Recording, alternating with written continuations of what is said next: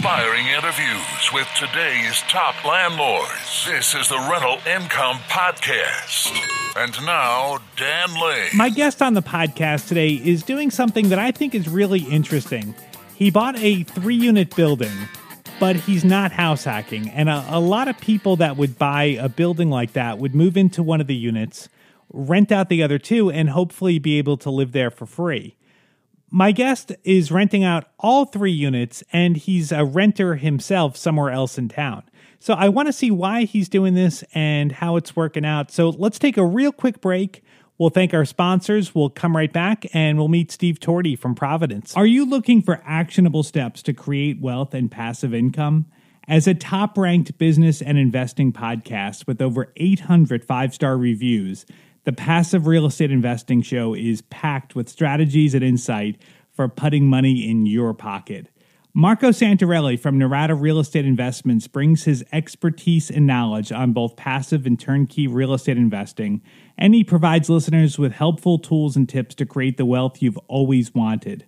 Head over to iTunes or Google Play today and subscribe to Passive Real Estate Investing Podcast or visit passiverealestateinvesting.com. That's passiverealestateinvesting.com. The first step in buying a rental property is to get pre qualified, and I would suggest you work with a lender that specializes in working with investors because the last thing you want to have happen is to get to closing and find out the money's not there and you can't close. The lender that I recommend is Chaley Ridge from Ridge Lending Group. She's a nationwide lender and she'll pre qualify you for free if you mention Rental Income Podcast. Find out more today. Contact Chaley at ridgelendinggroup.com. That's R I D G E lendinggroup.com. NMLS 42056. Hey, Steve, why don't we start with you giving us the, just a real quick Cliff Notes version of your background, just so we can get to know you a little bit better? Sure. Yeah. So uh, I'm Steve. I'm from Providence, Rhode Island. Um, my background has really o- always been in um, in sales and specifically advertising sales. Okay. Um, so I've I've moved around a little bit, but actually primarily uh, billboards, which believe which are pretty close to uh, real estate investing when you look at it. You know, you buy the asset, um, you know, you rent out the space, which is your tenants, and you know the advertisers Right. being your tenants, and then you depreciate the asset like a house. So it's it actually kind of has gone back and forth between my real estate investing and what I do full time. Yeah, that's that's interesting because yeah, you're right. It, it's really kind of the same concept with owning rental properties. So th- that yeah, is a pretty thing, good. Except there's yeah, no, yeah. The the only problem is that there's uh you know advertisers instead of tenants that you're right, to. right, right.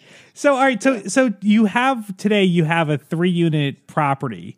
Um, so let, let's kind of talk about like when you decided you wanted to buy a rental property. Like, how did you decide? Like what neighborhoods to look at, what type of property you were looking for. Like, how did you kind of figure everything out?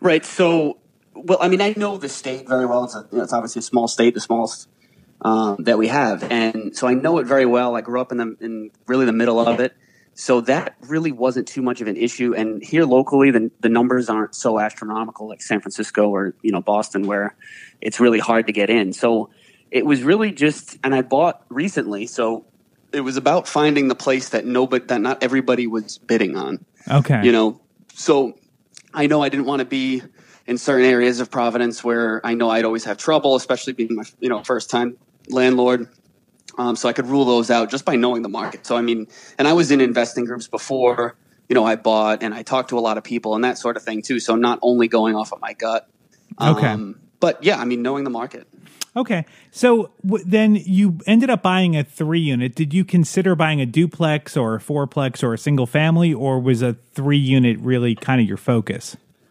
Uh, for me, the any two, three, or four. I do not Okay. want a single family. It's just to me, it doesn't make sense. Why? I I, I follow. Um, I'm a big Grant Cardone follower, and you know, if you talk to him, he would say that four is a waste of time. So, Really? You know, Wh- why does he say that? Wh- Why does he He say ju- four is a waste? because he says, you know, you should be you're saving up hundred thousand dollars and buying a complex. Um, Okay, yeah. For me, that just doesn't make sense. I mean, I think for most people that doesn't. But I'm also, but I like his theory of bring on the debt and put as little money down as possible. Yeah. Um, so my, I would just wanted to get as big as I could get with five percent down, which was three to four. Now, the other thing that you're doing that's, I, I guess, kind of what Grant Cardone preaches is you don't actually live in the unit. Where a lot of people we've had on the podcast, they'll buy a three unit, they'll, they'll house hack, they'll, they'll live in one of the units and rent out the other two and end up living for free. But you don't actually live at the three unit. You rent the whole thing out and you rent yourself. So is is Right. that kind of inspired by Grant Cardone? Um, yes and no. Um, I probably would have done it, you know, even if he, he doesn't say to do that. But for me, because A, I didn't want to live next to the tenants. I just, I want some space between me and them. They've got my personal cell number. I come over whenever they need them. I'm still close. Um, but it just made more sense to separate myself. And then on top of it, you know, yeah, I, I could live in there and live for free. And yeah, I'm spending two or three hundred dollars more a month to rent on my own versus where what I would be sacrificing by living in the property. Mm-hmm. But to me, that two and three hundred dollars is well worth it. Yeah. you know, I have a much nicer place. I'm on my own. Um, So for me, it makes sense. But w- with that in mind, I mean, I understand that I'm spending money on rent. Um, so I, my next move is most likely going to be an owner occupied um, place that you know I could buy on my own. Yeah.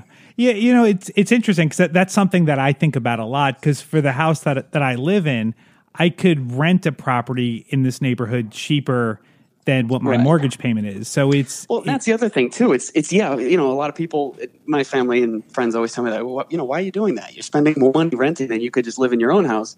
But it's it's not. I mean, I know now from firsthand experience how much it costs to run a house. right. You know, Yep. so I mean, if if I'm going to buy something on my own or buy a condo or whatever, I mean, there's a lot of stuff every month that comes up, and with this, it's just the the rent payment. You know, Right, That's, right. That's what that's what I owe them. I call them when something's broken, and I worry about my own property. So how has it been working out with working full time and then dealing with three tenants? Has it taken up a lot of your time, or has it gotten in the way of of living your life? Uh, no, so I mean, I use my background's in sales, like I said. So I'm on the road a lot. If I need to stop over there for something, I can do it. But most of the time, they understand. I come by on the weekends. I do the grass. I do the maintenance. Um, and then if they have anything for me, they tell me then. So I mean, it really hasn't been anything that's too big of a deal.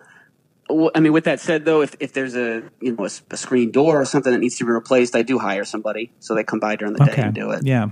Um, but that's you know small compared to everything. Tell me about this scheme of things. property because it, it seems like you got a a great property. So you've you've created forty thousand dollars in equity by basically fixing the property up, right? Yeah, exactly. So, so when I got it, um, it was actually owned by this company, Gateways to Change. Uh, if they're in your area, look them up because they uh, they get um, they get some government funding. They they had bought this property for two hundred and sixty or eighty thousand, I think, right at the height of the market. And then I bought it for one seventy. So they actually had to come up with money just to sell it Okay. and they're because they're funded by the government they just decide okay this property's gone we're going to list it and they don't really care what hit they take Oh, so nice. it, it was if you know look them up and they do a great service too i mean they, they house people that have some mental issues but can still live on their own Mm-hmm. so um, so that's what this house was and and on top of that that actually scared some people away it just was a it wasn't when i walked in i was I was like, oh, I don't know about this, but that's why everybody ran away. And I reached out to a family friend that was an agent and also did some renting, um, some investing, and he was like, buy this. And I was like, you sure? And he's like, yeah, buy this. And I'm like, I ran the numbers and I'm like, all right, he's right. So I bought it and then I added two bedrooms. Um, so there was two laundry rooms in the building, which didn't make any sense. Yeah. So I made those both bedrooms, and then uh, you know just by putting up a wall, it really wasn't that complicated. I mean, I don't have really any background in um, carpentry or anything, but it was easy enough to do. Um, so put up a wall in there, you know, cut a, a hole in the, in the wall for a door downstairs, um, and then all of a sudden there's two extra bedrooms. Put a new roof on it, cleaned it up, painted it, um, fixed the fence, and you know they came by and with an appreciating market, you know, it gave me forty thousand. So Now, that was less than a year. did you get um, like contractor estimates before you bought the property, or did you buy it and and just knew that you were going to be able to make things work? Um, well, I mean, I didn't have a number in mind in terms of how much equity I wanted. That was just bonus. Okay. So, I mean, I knew roughly that it would be about ten thousand for the roof and the gutters, and that was obviously the biggest expense. Um, and the other stuff, I just you know set some money aside, do the work on my own, and Okay. I could I could have made it work. So yeah. So I you- mean, I, but I. The, like I said, the, the equity was bonus. I mean, Yeah, it was just right. like, hey, can this can this thing make money month to month? You know, So yeah, let's talk about some of the numbers. All right. So what's your mortgage payment every month? it's eleven thirty four. That does not include taxes, though. Okay. Oh, I'm And- sorry, insurance. I pay that separate. The the taxes and insurance, or just just the insurance. Okay. So, yeah, and there's the other thing too is because the roof was bad when I bought it. They didn't. They wouldn't put me. This is the other thing to look at. They wouldn't put me at a regular insurance rate. They wanted to go. Uh, they call it a Rhode Island joint reinsur- reinsurance, which basically is just more expensive. So it's actually twenty eight hundred dollars a year right now. okay. Okay. So I've got to get that down. But so if you figure it all in, actually doing the math right now. Uh, yeah, so two thirty three. Right, so we're about thirteen hundred. Okay. Thirteen hundred, and then how much do the units rent out for? So the three bedroom is eleven hundred, and that one's section eight. Okay. Um, and then the two bedroom is ten twenty five, and the one bedroom is eight fifty. Awesome. So, okay. Yeah, so twenty nine seventy five a month coming in. Twenty nine seventy five coming in, and, and tell me again what you said the mortgage payment was with everything with taxes. 1,300. Thirteen hundred. Okay, so you're doing great there. That Yeah, yeah. Yeah, that is awesome. Now, after the buying this, you've owned this for how long? About a year? Is Yeah, just over Okay. a year. So and Yeah. so and how has it been dealing with the tenants? Like, have you had any problems, or has there been any turnover, or has anything gone wrong? So the only thing, um, th- there hasn't been any turnover. I've been really lucky there. A lot of people they're wary about the Section Eight, but she has been great. I mean, she just needs it. You know, she's in a position where she needs the help, Mm-hmm. and it's not, uh, you know, it's nothing against, um, you know, her personally or anything. So she's been a phenomenal tenant, actually the best one. Um, so and- you've got- it's- a mix. You've got one Section Eight tenant, and then two just regular cash tenants. Yeah, exactly. Why did you do that as, as opposed to going all cash tenants or all Section 8 tenants? So the well upstairs was the is that's the Section Eight um, tenant with a three bedroom, and um, I just figured, hey, if I can get this money guaranteed as a new investor, that's going to make a ton of sense for me. Right. So I basically, in my mind, kind of uh, anchored the property right with a Section Eight tenant because that's a direct deposit. Oh, So yeah. I said, all right, That's I good. This house, right? I'm looking at this thing. Like, I got to fix all of this stuff. I got a mortgage payment due, and I don't know what I'm doing, right? So I basically just went upstairs and said, all right, I'm going to put this wall up. I'm going to clean this place out. I'm going to get it lead certified, and I'm going to get my money guaranteed from the city, Right. right? So then I'm like, okay, once that's all set, I mean, that basically covered the mortgage. So like, Right. okay, I can breathe. So that $1,100 is guaranteed to me, uh, or most of it. Yeah, And then that like, really- now I can go. Let me make sure everyone understands that because that's really smart. So you you've got her eleven hundred dollars a month rent coming in that gets direct deposited from the city, and then you've got your mortgage payment of of eleven thirty four. So basically, your mortgage payment is covered by the Section Eight, and then the other two cash paying tenants. That's basically your expenses, your your insurance, w- whatever else, your profit. That that's that's great. That's actually really a great way to do it. Yeah, it really and it made a ton of sense. And then she, you know, you're help. You feel like you're helping somebody out a little bit, and Yeah. um, you know, it. So it, it worked out. And and yeah, like I said, once I got that rented, I kind of was like breathing easy because I'm like, I know, you know, the bank will always, you know, have you buy the house based off of your personal income. So it's like, all right, I know I can afford it, but uh, you know, that's kind of a lot all Right. of a sudden to take on as an expense. And so in your head, and you're just like looking at this building, and you're like, I guess this is mine, right? Right, right, right, You right. just got to get it filled, you know. Yeah. Yeah, and you know, I guess you know, if worse came to worse, I mean, if it ended up being that it was a nightmare, I mean, you, you might not want to, but like you always could move in there and you could Exactly. personally just pay the mortgage. So like there, there's not a lot of risk there, I, I don't feel. Now, tell me this with, with the Section 8 tenant, a lot of people are afraid of Section 8 because you hear the stories about how the Section 8 tenant destroys the property or they're really rough on it. Have you found that to be true, or has your Section 8 tenant been a, uh, just the same as your other cash paying tenants? Yeah, she's she's been uh, like I said, she's my best tenant. And Okay. the Yeah. the other reason I did that was because it, look at your state to find out or your city, and find out what the situation is with demand for the vouchers, the Section Eight vouchers. because there's a three year waiting list here in Cranston, and they will they do not want to be back on that waiting list because they don't have the money to pay rent. So she goes out of her way to make sure that I'm happy. Just because if I report that she's not paying, you know, her portion of it, or she's damaging the property, that sort of thing, she knows that she's going to lose that voucher. Right. Um, it's it, it it really keeps them more, you know, one of your best tenants. Right. You know? So, d- did you do any kind of screening on her, or did you just assume because she's approved by Section Eight and that that's a uh, a big long process that she's been through to, to get approved that she w- and and also that the money's guaranteed? Did you just accept her based on being approved by Section Eight, or did you do any other background check? So I did the background check, but nothing with the credit. Okay. Um, so she, I mean, she you know she did show me her income and that Yeah. sort of thing, but I did the background check. You know, obviously I showed her the apartment and everything, and you know felt like I could trust her, and everything's been good so far. So How about getting approved for Section Eight? Because I, I a lot of times, and I think just about every area, they they have inspections and th- they might ask for things to be fixed. W- was that a, a complicated process getting getting through that? Um, the the hardest part was the lead inspection. Uh, the the I mean the requirements for Section Eight are they're they're pretty lenient. Um, I mean obviously simple stuff. Make sure there's a window, two exits, you know, an outlet in every bedroom, that sort of thing. The lead inspection was the hardest because, and this was probably because of, of how naive I was, but uh, I sanded all the floors. And the second you do that, all of the lead dust gets kicked up everywhere. right? So I didn't know that. So I sanded all the floors down. I'm going through thinking I'm getting this all nice and everything.